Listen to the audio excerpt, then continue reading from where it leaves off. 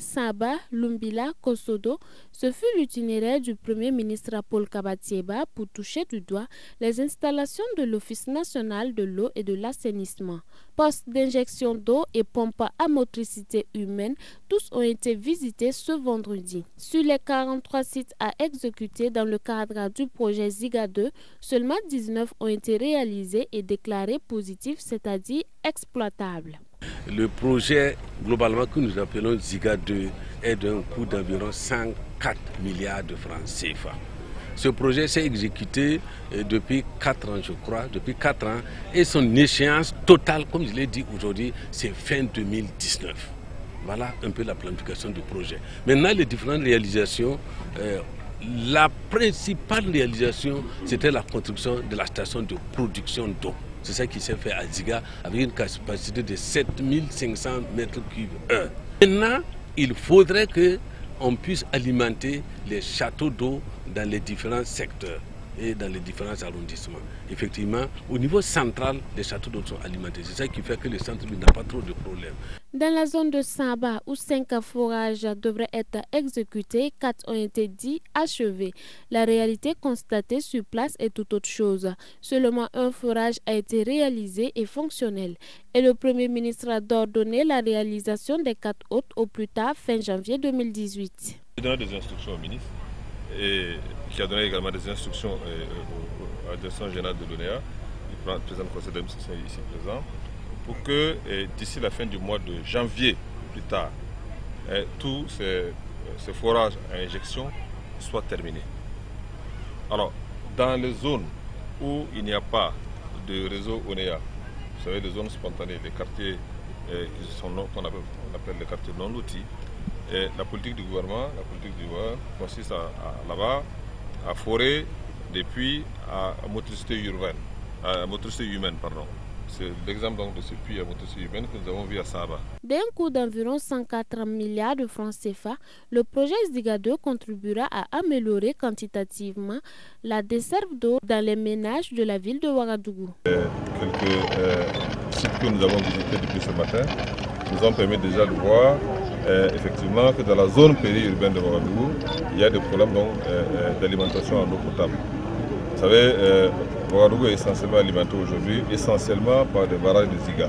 Le ministère et avec la direction générale de l'ONEA sont en train de mettre en œuvre des infrastructures qui doivent permettre d'ici la fin de l'année 2018 de réaliser ce qu'ils appellent les travaux confortatifs, donc les, les châteaux d'eau qui font défaut, et puis également les 7000 les 700 km, les 700 km donc, de canalisation qu'il faut mettre à Ouagadougou permettent donc à l'eau de Ziga d'irriguer toute la ville. C'est un projet financé par la Banque française de développement et l'État burkinabé. Il faut noter que la population attend énormément de ce projet car la pénurie d'eau est de plus en plus une réalité dans les quartiers, surtout périphériques de la ville de Ouagadougou.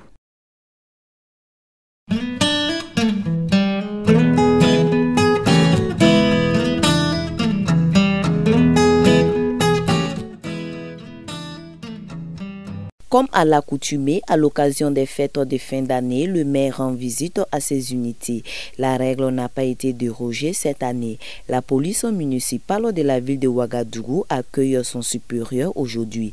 Armand Pierre Roland Bewende vient encourager ses troupes. Ouaga est devenue une très grande ville, 600 km et avec un effectif que vous connaissez qui est, on a à peine 500 policiers municipaux pour couvrir les 12 arrondissements.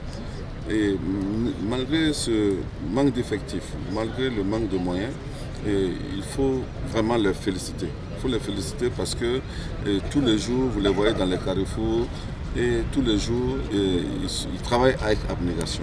Donc, à l'occasion de la fête de fin d'année, nous sommes venus les exprimer cette reconnaissance et les encourager et à continuer à persévérer et les annoncer également que nous prenons à cœur leurs préoccupations. C'est pourquoi de direction générale, et de direction tout court, ils sont devenus une direction générale avec une plus grande structuration. Et l'engagement du conseil municipal est de pouvoir recruter tous les, années, tous les ans 150 nouveaux policiers. Pour Armand Bewende, la grogne des policiers appartient désormais au passé et pour leur témoigner de son appui incontestable, il leur a offert une enveloppe symbolique, laquelle enveloppe a été appuyée avec le dôme de la CCVA constitué d'un groupe électrogène. Les policiers n'ont pas manqué de soumettre un certain nombre de doléances au maire qui promet d'en tenir bien compte. Nous allons avoir 25 ans d'existence. C'est un jubilé d'argent qui mérite d'être fêté. Nous savons également que dès que vous êtes arrivé, il y avait un projet de construction de la direction générale de la police municipale. Et au regard de la réorganisation des services de la commune, vous avez vite compris que ce projet On a écouté ces doléances avec beaucoup d'attention. Nous sommes très conscients que le bâtiment que vous voyez est sous-dimensionné par rapport aux, missions que nous voulons donner à la police municipale. Effectivement, nous sommes venus trouver un projet de construction de, la nouvelle direction dans un site euh, non loin d'ici.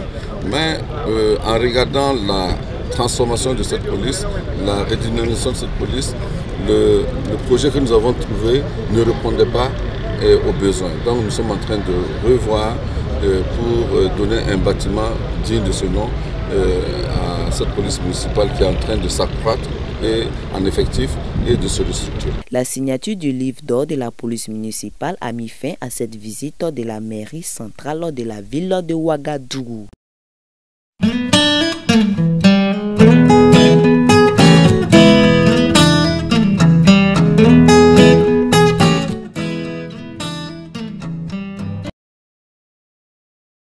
Les experts nationaux ont procédé à la présentation du rapport 2016 sur l'état de la liberté de presse au Burkina Faso, incluant l'étude sur la place et l'image des femmes dans les médias burkinabés.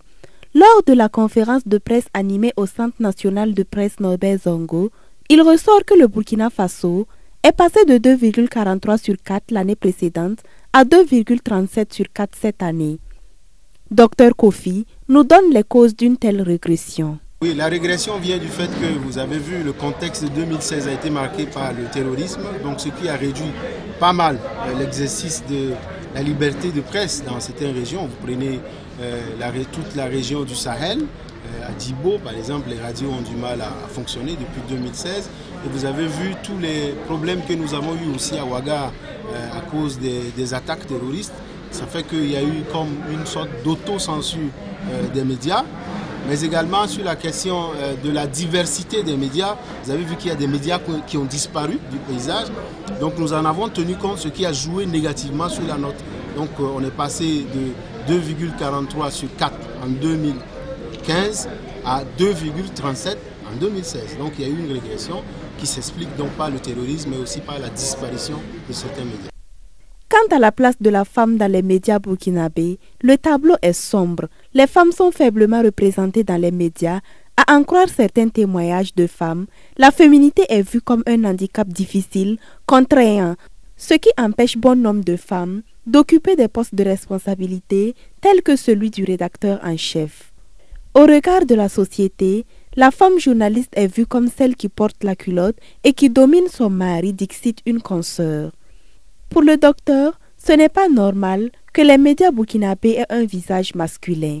Ce n'est pas normal que dans notre pays, les femmes représentent 52%, alors que dans les médias, ils ne sont pas là. Ça veut dire qu'il y a quelque part quelque chose qui ne marche pas dans les médias. Les femmes devaient non seulement travailler dans les médias, mais également être présentes en termes de préoccupations qu'elles portent, parce que les femmes ont des problèmes euh, dont les médias doivent parler. Euh, voilà, de la même façon qu'on parle des problèmes. Alors si les médias sont seulement masculins, évidemment, ça veut dire que notre société est déséquilibrée sur le plan de la liberté de la presse. Des recommandations ont été faites aux entreprises médiatiques, celui d'adopter des directives rédactionnelles favorables à l'égalité entre les hommes et les femmes dans les rédactions et au Conseil supérieur de la communication d'intégrer l'approche genre dans le monitoring des médias.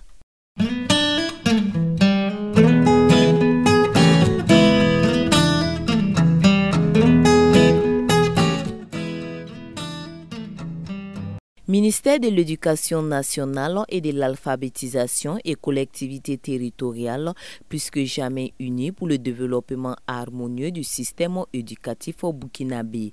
En effet, cette union remonte à 2009 et c'est dans le cadre du processus de la décentralisation que le MENA a transféré des ressources humaines et financières aux communes. Cependant, des difficultés entravent cette collaboration. Alors, les principales difficultés sont liées évidemment euh, aux capacités euh, de gestion hein, de, certaines collectivités territoriales. Euh, vous savez comme moi qu'elles ne sont pas toutes au même niveau en termes de capacité, alors que les transferts les concernent tous, toutes. Donc il faut déjà à ce niveau constater que certaines sont parfois en retard dans le processus, par exemple, de mise en œuvre euh, je peux vous dire que par exemple, quand euh, on a fait le point, on a vu que dans certaines collectivités territoriales, par exemple, le carta minimum n'est pas encore euh, mis à disposition. D'autres l'ont réussi. Donc il est important de comprendre quelles sont les difficultés qu'ils rencontrent, par exemple, dans la mise en œuvre du dispositif en matière de renforcement de leurs capacités. C'est donc pour y pallier que se tient ce cadre de concertation visant à permettre aux deux parties de disposer d'informations fiables concernant l'exécution et le suivi des ressources et des compétences transférées. Qui vont rappeler un peu le processus de décentralisation au niveau du ministère, rappeler aussi les compétences qui sont transférées aux collectivités territoriales. On se souviendra qu'en la matière, donc, ce sont les infrastructures éducatives, c'est le fonctionnement courant des écoles, c'est le cartable minimum, c'est la réhabilitation des infrastructures éducatives. Et il y a, ces compétences ont été élargies parce que le MENA souhaite euh, transférer également des ressources euh, à des structures décentralisées pour euh, assurer donc la mise en œuvre des cantines scolaires et bien d'autres compétences en perspective. Mais il est important que ce processus-là soit bien maîtrisé pour qu'on s'assure qu'en élargissant, qu'en allant plus loin, nous allons obtenir les résultats que nous escomptons. Ainsi, ces deux jours de pourparlers devraient aboutir à établir un bilan d'exécution physique et financière des compétences et des ressources financières transférées aux communes en matière d'éducation des bases, d'encourager et de soutenir les initiatives locales pour le développement de l'éducation et enfin d'améliorer le pilotage de l'éducation au niveau local.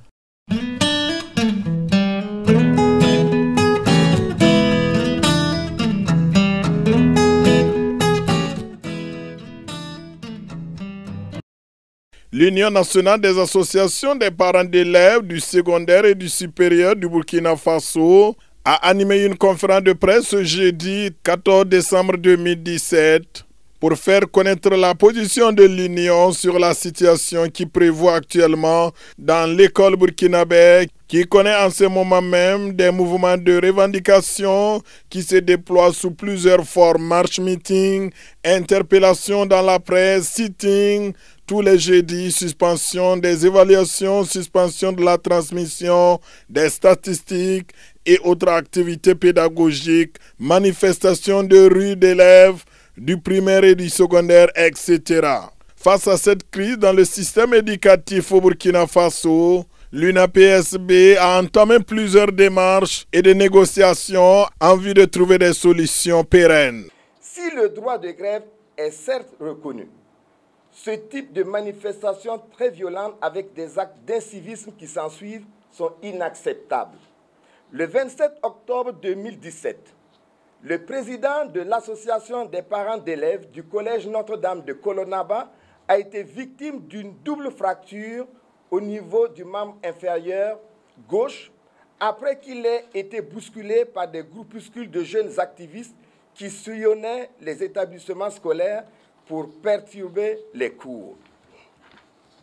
Le 4 décembre 2017, un groupe de jeunes gens ont fait une descente au lycée Le Creuset plus de Ouaga 2000 et ont emporté les casques des élèves qui étaient sur leur moto.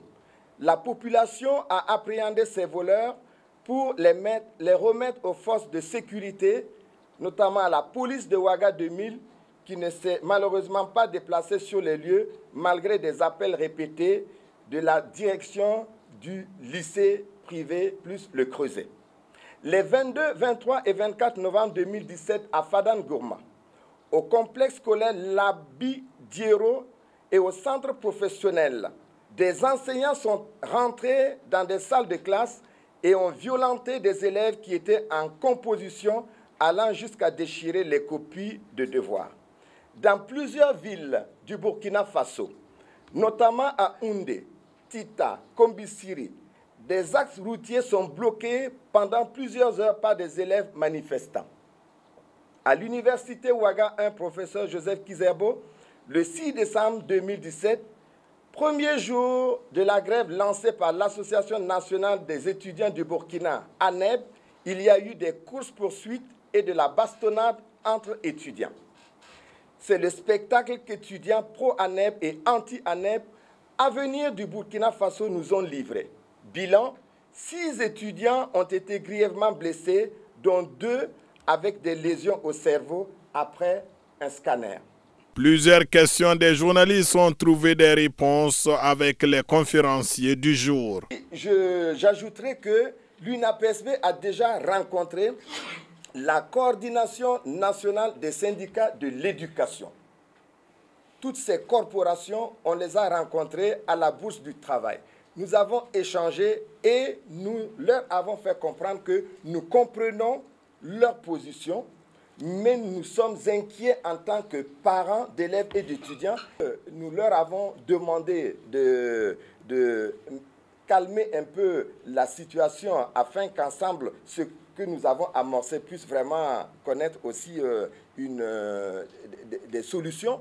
Ben, ils nous ont dit qu'ils ont compris, mais la méthode classique avec les syndicats, vous connaissez, c'est toujours se référer à la base avant donc de revenir. Et donc, nous attendions également qu'ils nous fassent un retour après avoir rencontré donc leur base. Selon les conférenciers, l'UNAPSB joue et jouera sa partition pour que l'école burkinabé retrouve son lustre d'autant selon les moyens dont elle dispose.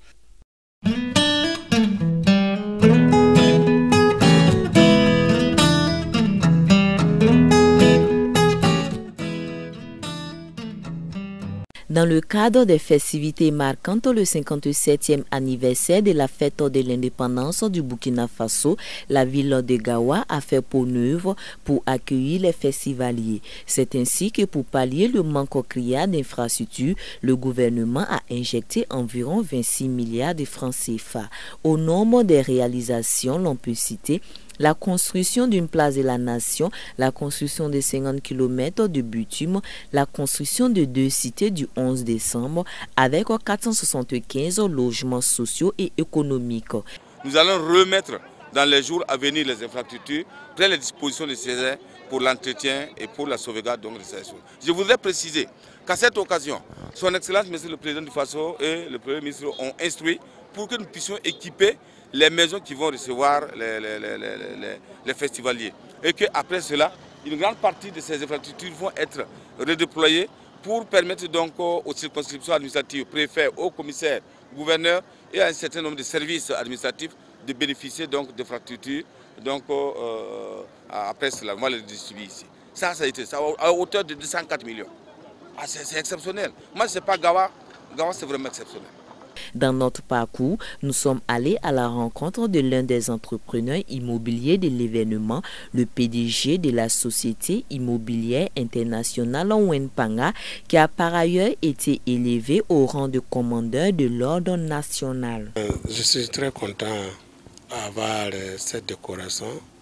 En venant à Gawa, je ne pas à venir faire des décorations à Gawa nous sommes déplacés pour venir travailler, aider le gouvernement, pour que le gouvernement puisse avoir des logements et pour donner au transit et pour les fêtes nationales du 11 décembre.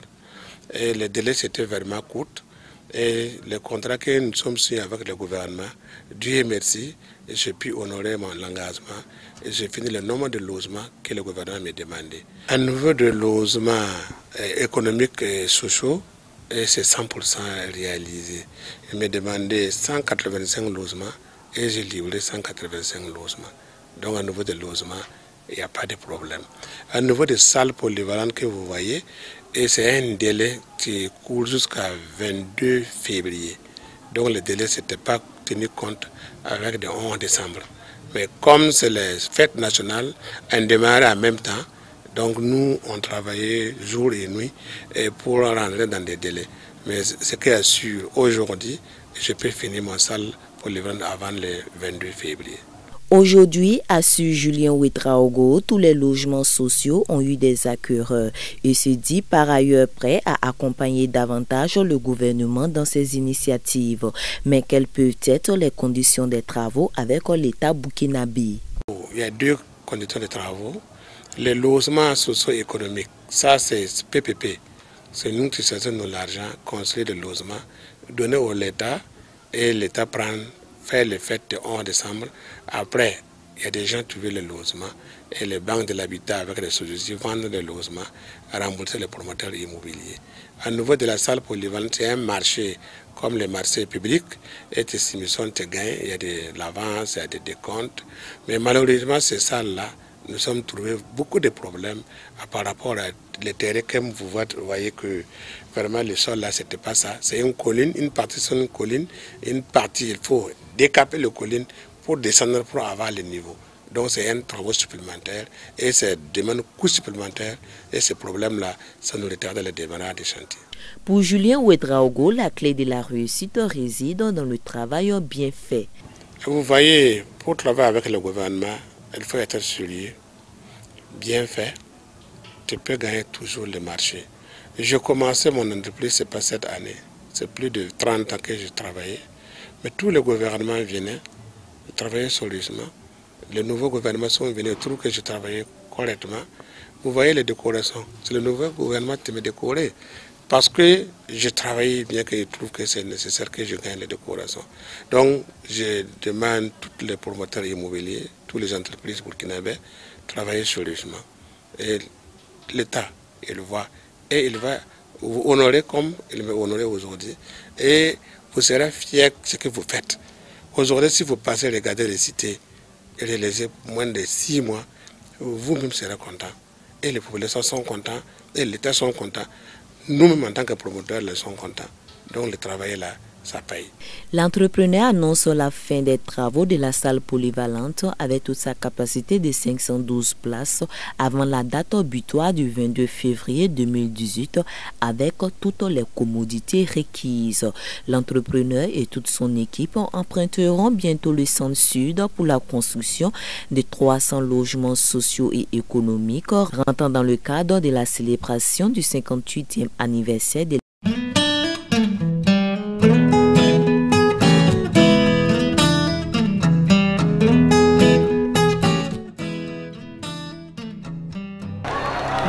Le Sud-Ouest a vibré au rythme des festivités du 11 décembre 2017. Ainsi, cela fait 57 ans que le pays des hommes intègres a accédé à sa souveraineté nationale.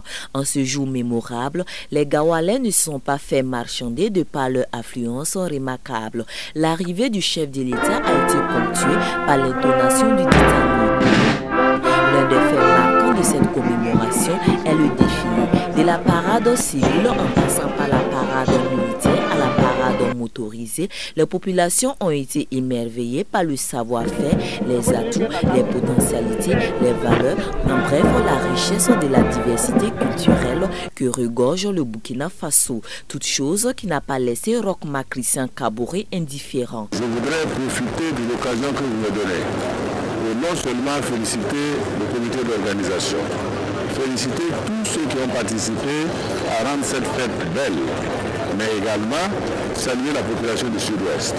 Parce que depuis pratiquement quelques mois, cette population est mobilisée afin de faire en sorte que cet événement que nous célébrons aujourd'hui soit un véritable succès. Donc euh, merci à tous et à vous tous qui êtes là également qui avait travaillé pour que le direct soit là et que également partout au Burkina Faso, le Burkinabé puisse suivre la célébration de ce 57e anniversaire. Ce sont environ 5000 personnes qui ont défilé sur cette axe. La satisfaction se lisait sur certains visages, surtout de ceux du comité d'organisation. À noter que le coût estimatif de l'organisation de ces festivités se levait à 26 milliards de francs CFA. Un rappel, ce 57e anniversaire s'est célébré sous le thème diversité culturelle et citoyenneté responsable pour un Burkina Faso solidaire et harmonieux.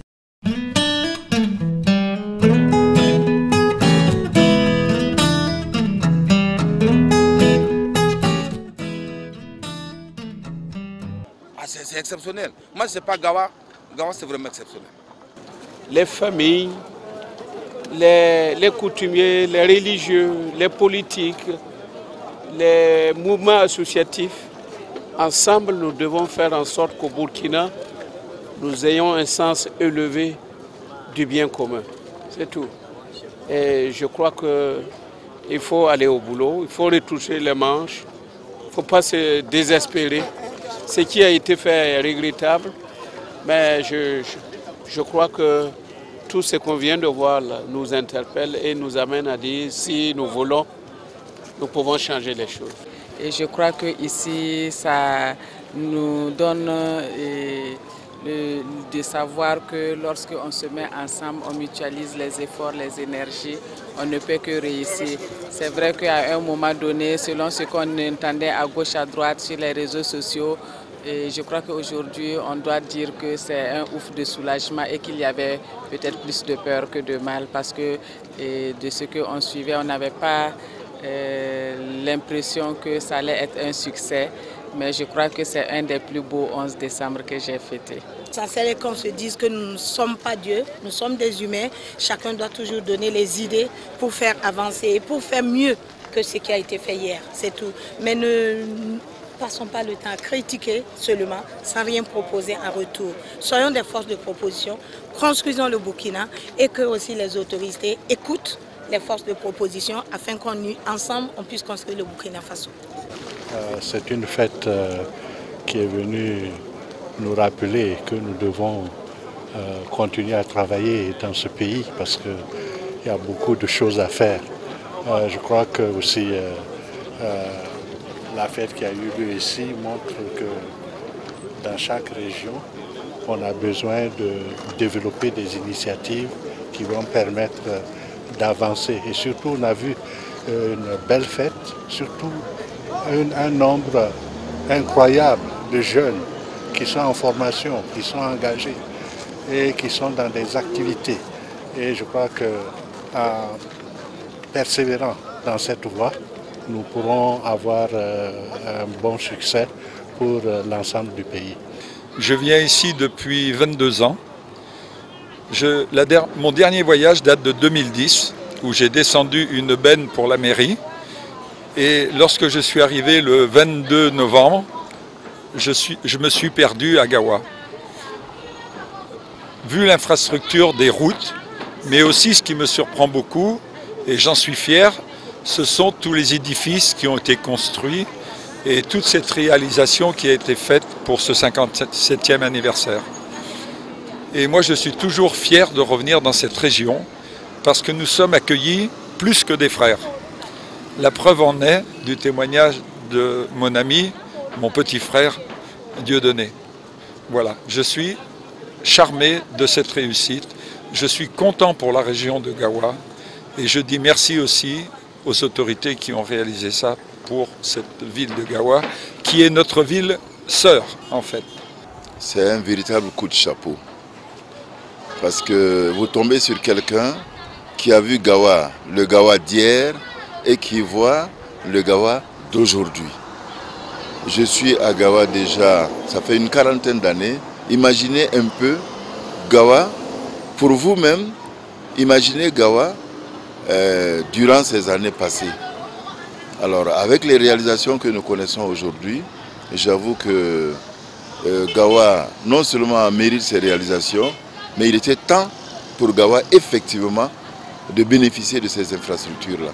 Et nous ne savons pas comment remercier les autorités qui ont pensé à faire célébrer non seulement le 57e anniversaire de l'indépendance à Gawa, mais surtout ont pensé à doter Gawa d'infrastructures euh, qui vont booster le développement de la région.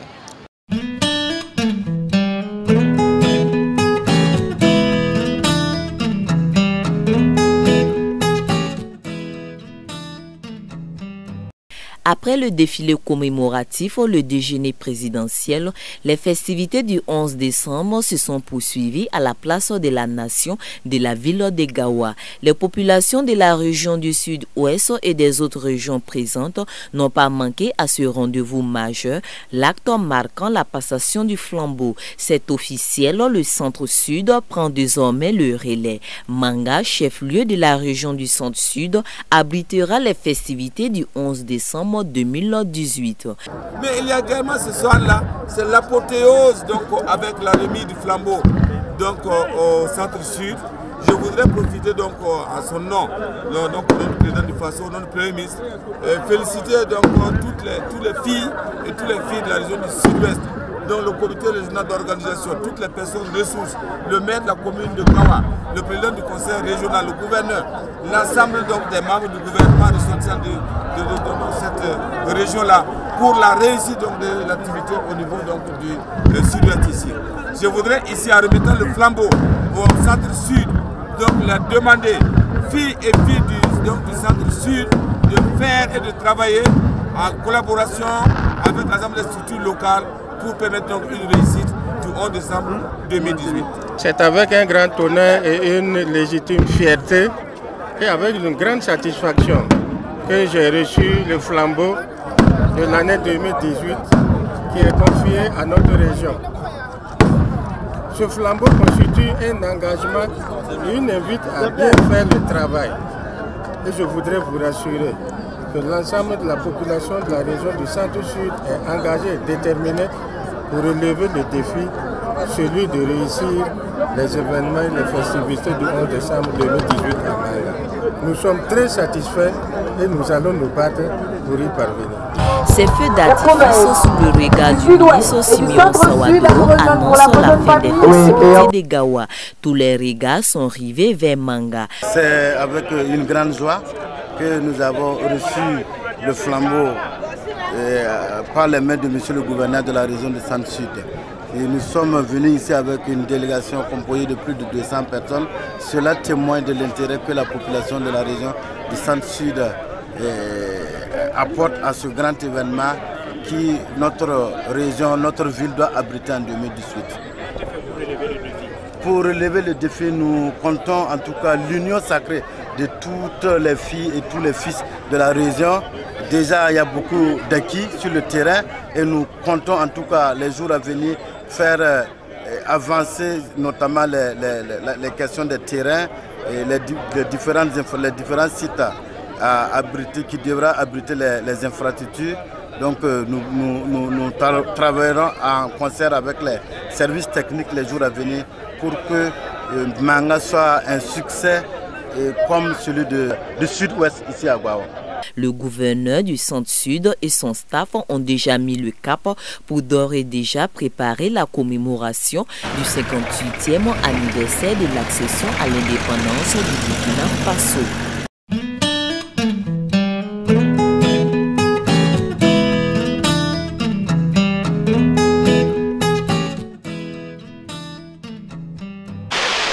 Les autorités du centre-sud s'activent déjà pour 2018, les Gawalais continuent les réjouissances. Un tour à la fois des Gawa constate les marchandages sont au rendez-vous de ce grand marché public. Comme ce vendeur, pour beaucoup comme lui venu de Ouaga, les achats laissent à désirer. Les Gawalais, ils ne sont pas sortis. C'est pas c'est la fête qu'ils aient pris ou quoi. Bon, c'est nous en tout cas, ils ne sont pas trop venus payer les marchandises. D'autres par contre sont contents de leurs chiffres d'affaires. Vraiment bon. Si on est venu exposer, les gens de Gawa ils viennent regarder. Bon. Aujourd'hui c'est le dernier jour. Après, c'est demain c'est fini mais je dire vraiment ça va un peu. Ils se sont beaucoup intéressés à nos pains, à nos habits qu'on a amenés. Il y a d'autres qui ont vraiment ils ont beaucoup payé avec nous. Donc le marché a été bon. Ouais, moi vraiment ça va, ça a été bon. Ainsi, on y trouve une diversité d'articles, bijoux, vêtements, sacs à main, chaussures, pour ne citer que ceci. Cependant, il y a aussi une aide et restauration. La détente est au cœur de l'événement. Amis, connaissances, familles se sont déplacés en ces lieux pour jouir de ces plats succulents. Alors que nous quittons le lieu, les populations affluent de plus en plus sur le site. La nuit sera sans doute tout au long pour tous ces festivaliers.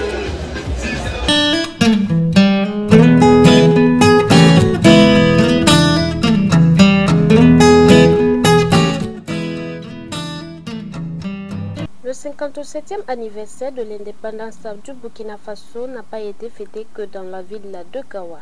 Dans la commune de Komsilga, on a aussi célébré le 11 décembre à travers discours, décorations, défilés civils, militaires et paramilitaires. Environ 75 personnes ont été distinguées dans l'ordre national lors du mérite burkinabé, la médaille d'honneur des collectivités territoriales, l'ordre des commandeurs des palmes académiques et l'ordre du mérite du développement rural. Pour le gouverneur de la région du centre, c'est une première de décentraliser cette célébration hors de la ville de Ouagadougou. 57 ans que le Burkina Faso a accédé à l'indépendance.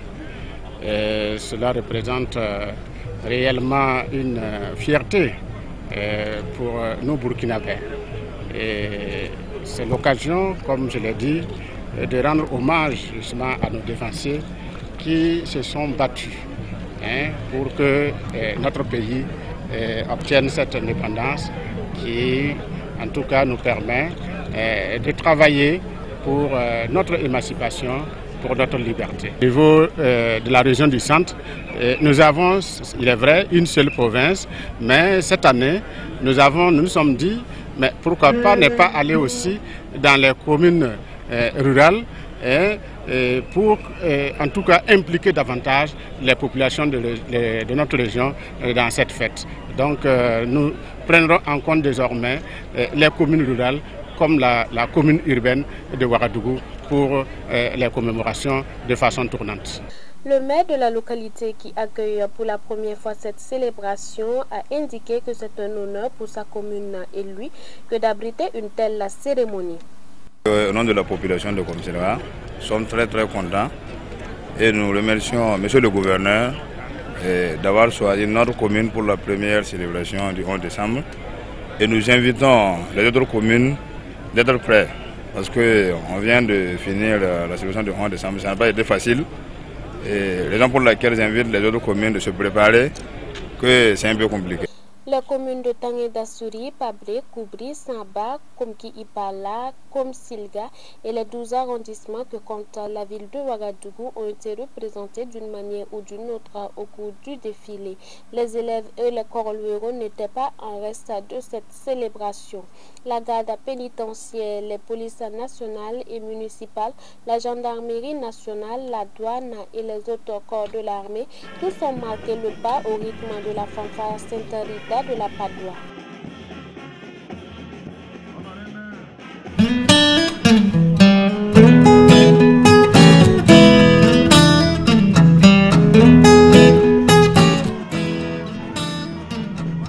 Je suis content que les autorités compétentes aient estimé que les tâches accomplies hein, sont bonnes et méritent d'être distinguées.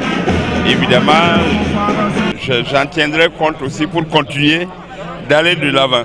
Hein, je peux vous dire que ça fait quand même 36 ans que je suis dans l'enseignement supérieur, que j'ai été chef d'établissement, doyen de faculté, recteur, ministre, tout ça c'est beaucoup de difficultés et donc je suis heureux que tout le travail abattu donne droit à cette distinction-là. Merci aux autorités. Ben, je suis très contente de cette décoration ce matin et je dédie cette décoration à ma famille, à mes collaborateurs qui me soutiennent tous les jours dans mon engagement.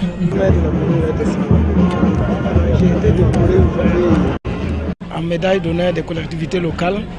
Je suis fier parce que ça dénote euh, une mérite. En fait, c'est une récompense par rapport au travail que nous abattons. Et je pense que les premiers responsables sont regardants par rapport à ça. nous sommes fiers et nous remercions la nation d'être reconnaissant envers nous. Je suis Mariama Siri.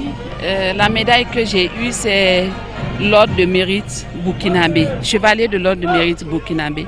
Qu'est-ce que la médaille représente pour moi? La médaille, la médaille représente tant d'années d'efforts pour moi.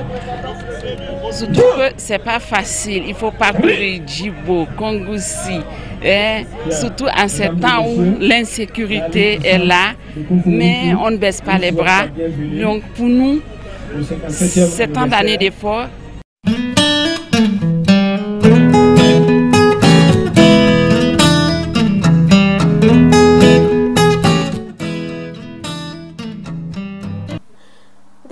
la paix et la démocratie au Burkina Faso est un cadre où de grands noms de la caricature burkinabé mais aussi africaine vont s'exprimer sur l'importance du dessin de presse. L'objectif visé euh, par cette rencontre, il y a plusieurs activités qui sont, qui sont mélangées. Il y a le fait de rendre davantage public pendant quelques jours un métier qui est un métier très solitaire. Les dessinateurs sont toujours enfermés dans leur bureau en train de dessiner, on ne les voit jamais, on ne sait pas très bien quelles sont leurs difficultés. Ça, c'est une première chose en direction du grand public. Et après, il y a une réflexion effectivement éditoriale, une réflexion euh, du métier, j'allais dire, de, la presse en général, pour voir pourquoi au Burkina Faso, dans la presse généraliste, on n'a pas de dessin de presse, contrairement à ce qui se fait dans, dans la plupart des autres pays du monde. Donc on essaie de trouver quelle place pourrait occuper le dessin de presse dans l'avenir. Le dessin de presse permet de réunir, échanger, créer des ponts entre les cultures. C'est autour de cette pensée que se mèneront toutes les activités. Les caricaturistes ont une association internationale dénommée Cartooning for Peace qui œuvre pour la promotion des dessins de presse. Euh, Cartooning for Peace est une association internationale qui regroupe euh, une centaine de dessinateurs. Et partout où on doit défendre le dessin de presse, ben, Cartooning for Peace se trouve là. En mars dernier, on était en Côte d'Ivoire dans le cadre de Coco que j'ai organisé et on a, on a eu vraiment intervenu auprès des, auprès des dessinateurs ivoiriens, dans les salles de classe, dans la droite ligne de la politique de Cartoon for Peace que nous nous retrouvons ici au Burkina pour continuer cette mission-là. Dessinons la paix et la démocratie est un programme de promotion du dessin de presse soutenu par l'Union européenne et piloté par Cartooning for Peace en association avec le festival Ciné 3 Libre et l'Institut français de Ouagadougou.